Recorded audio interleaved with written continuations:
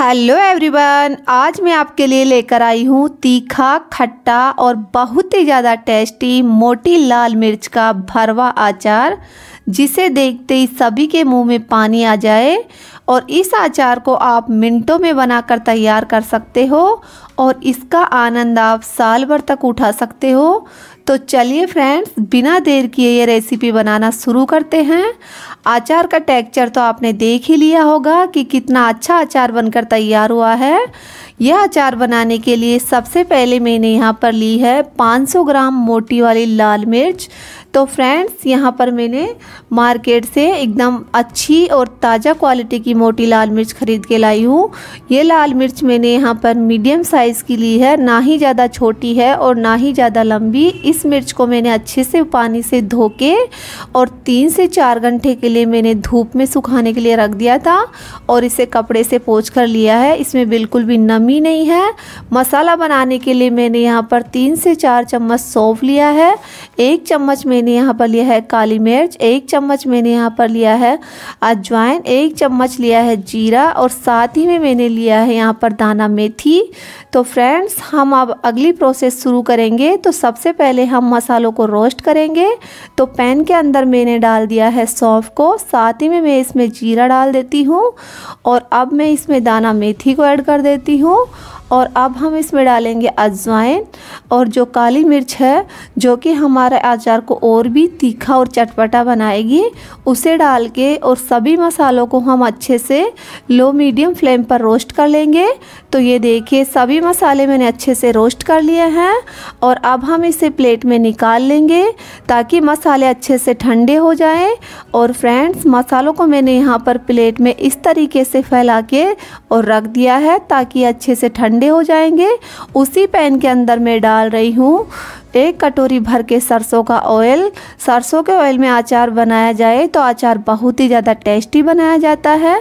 तो आप वैसे तो आपने मनपसंद ऑयल में इसे बनाकर तैयार कर सकते हो। ऑयल यहाँ पर धुआंधार गर्म हो गया है। और अब मैंने इधर लिया है एक मिक्सर जार। तो मिक्सर जार के अंदर जो रोस्टेड मसाले थे, उसे डाल के और अब हम इसे दरदरा होने तक पीस लेंगे। तो फ्रेंड्स, यहाँ पर मैं कुछ और मसाले ऐड कर रही हूँ। तो सबसे पहले मैंने यहाँ पर एक से डेढ़ चम्मच काली वाली राई ली है, यानी कि सरसों। साथ ही में मैंने यहाँ पर ली है एक चम्मच पीली राई। और साथ ही में अब मैं इसमें ऐड कर रही हूँ एक चम्मच भर के नमक। क्योंकि अचार में नमक बहुत ही अच्छी मात्रा में डाला जाता है, तभी अचार का टेस्ट अच्छा आता है। तो ये देखिए, सभी मसालों को मैंने यहाँ पर दरदरा होने तक पीस कर तैयार कर लिया है। अब मसाले को हम यहाँ पर एक बाउल में निकाल लेंगे और मैं इसमें डाल रही हूँ अब एक चम्मच भर के कलौजी। कलौजी को हम ना ही रोस्ट करेंगे और ना ही से पीसेंगे।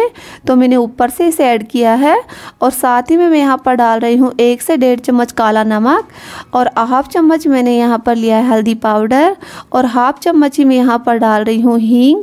तो सभी मसाले मैंने ले लिए हैं और अब हम इसे चम्मच की सहायता से अच्छे से मिक्स कर लेंगे।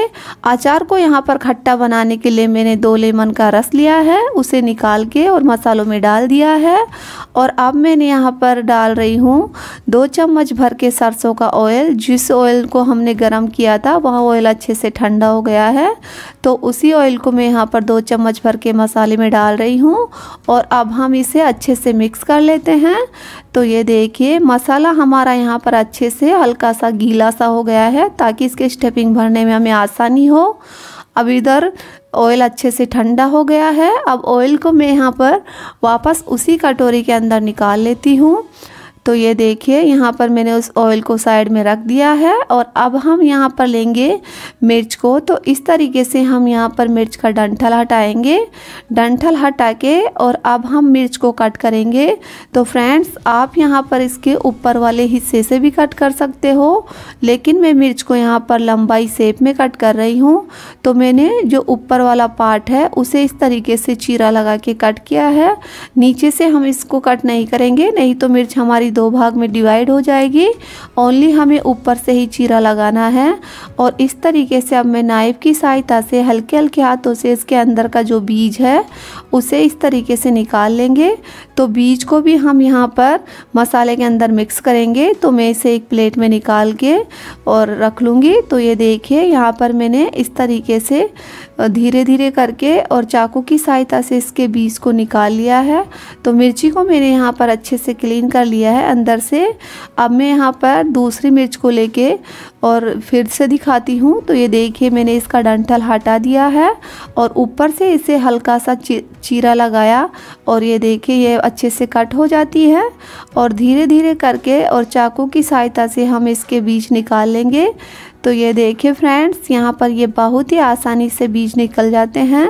आप यहाँ पर चम्मच की सहायता से भी निकाल सकते हो, जो चम्मच का पिछला वाला हिस्सा होता है, उससे भी आसानी से निकल जाते हैं। तो फ्रेंड्स, अब मैं सेम इसी तरीके से सभी मिर्च को कट करके और इसके बीज निकाल लूँगी। तो ये देखिए, यहाँ पर मैंने सभी मिर्च अच्छे से कट कर ली है और सभी बीज मैंने निकाल के और प्लेट में अलग से रख लिए हैं। तो आपको मैं दिखाती हूँ, इसमें से इतने सारे बीज निकले हैं। तो ये बीज मैंने प्लेट में निकाल लिए हैं। अब हम यहाँ पर मिर्च को करेंगे साइड में और मसाला लेंगे और मसाले के अंदर जो कि हमने मिर्च में से बीज निकाले हैं, उसे डाल देंगे और इसे भी मसाले के अंदर अच्छे से मिक्स कर देंगे। ये ये मसाले के अंदर डालने से, बीज मसाले के अंदर डालने से मसाले का टेस्ट और भी ज़्यादा बढ़ जाता है और हमारा अचार का टेस्ट तो बहुत ही ज़्यादा अच्छा है ही।